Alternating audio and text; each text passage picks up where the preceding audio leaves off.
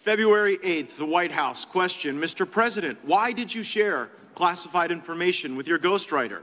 The President, I did not share classified information. I did not share it. I guarantee I did not. That's not true, is it, Mr. Hur? That is inconsistent with the findings based on the evidence in, in my report. Yes, it's a lie, is just what regular people would say, right? Yeah, all right. So the next one. And all the stuff that was in my home was in filing cabinets that were either locked or able to be locked. That wasn't true either, was it? That was inconsistent with the findings of our investigation. Another lie, people might say, right? Because what you put in your report was among the places Mr. Biden's lawyers found classified documents in the garage was a damaged open box. So here's what I'm, what I'm understanding, right? As Mr. Armstrong laid out, you find in your report that the elements of a federal criminal violation are met.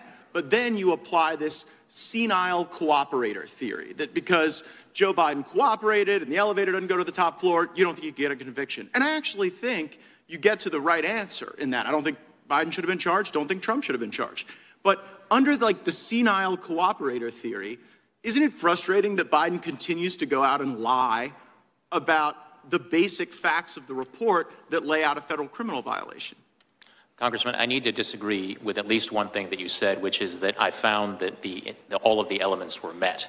One of the elements of the relevant mishandling statute is the intent element, and what my report reflects is my judgment that based on the evidence, I would not be able to prove beyond a reasonable doubt to a jury that that intent element had been right, met. but the reason you have that doubt is the, is the senile cooperator theory. The fact that Joe Biden is so inept in responding that you can't prove the intent, which again, I don't quibble with that conclusion, but it's frustrating to be like, oh, well, this guy's not getting treated the same way as Trump because the elevator's not going to the top floor, so we can't prove intent. While at the same time, Biden goes out there at the White House and says, well, you know, he just, he just, he just blatantly lies. And what I'm trying to figure out is whether or not Biden's lying because he's still so senile, he hasn't read your report, or whether it's a little craftier and a little more devious and perhaps a little more intentional than we might otherwise think. So I also want to go to this Biden Penn Center. Like, did you did it give concern to you that the Biden Penn Center, where all this classified stuff was being mishandled, was being floated by foreign governments?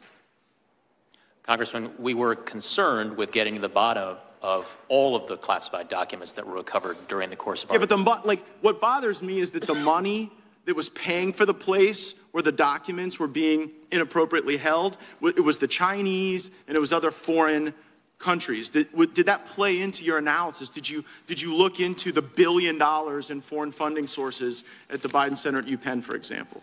Congressman, we conducted a thorough, impartial, and fair investigation, and we were very, very concerned with getting to the bottom of all the relevant questions relating to the recovered Sir, documents. Did you look into the fact that the Chinese were floating the place where this guy was keeping the documents unsecure? Yes or no? Congressman, to the extent that we identified evidence that was relevant and significant to our investigation, we put it in our report. Okay, well, it seemed relevant to me, maybe not to you. Another thing that seemed relevant to me is this ghostwriter, right? So the ghostwriter purposefully deletes this evidence that seems to be like show culpability of Biden's crimes, and you don't charge him. Why did you not charge the ghostwriter with obstructing justice and deleting evidence? Well, for a number of reasons that are laid out in the report.